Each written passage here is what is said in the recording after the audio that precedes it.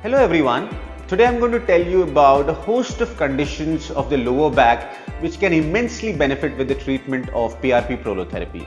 Now namely these conditions would be sacroiliac joint dysfunction, facet joint arthritis, uh, piriformis syndrome, degenerative disc disease, back pain uh, post pregnancy, then pelvic pain and uh, iliolumbar uh, syndrome as well to name a few.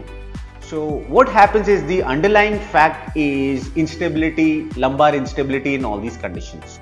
So the PRP that is a platelet rich plasma uh, is generally injected under image guidance into the concerned joints uh, like the sacroiliac joint or the facet joint and this helps in preventing further degeneration into these uh, of these joints and the surrounding ligaments on the other hand are strengthened by prolotherapy which is a mixture of local and dextrose and uh, together this increases the inherent stability and strength of the supporting structures of the lower back and uh, helps us get better soon.